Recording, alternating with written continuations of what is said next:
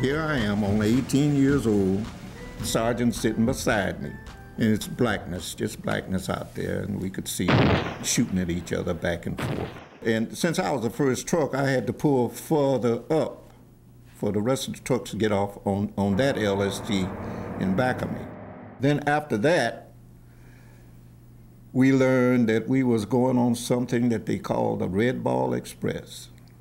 And boy, was that something. It was by driving trucks like this one, dodging landmines and German planes, that thousands of African Americans distinguished themselves during the battle to liberate France. They were part of a courageous outfit called the Red Ball Express. Oh, yes. A lot of black boys driving that Red Ball Express, and I mean they drove them too. They didn't play with them. They didn't care what happened to them. I mean, motorized. Man, those guys had come through a city, about seven of them, one behind each other. You better move back. Here comes the Red Ball Express. Yes, I remember Red Ball Express. I never was one of the drivers. Those old boys had fun.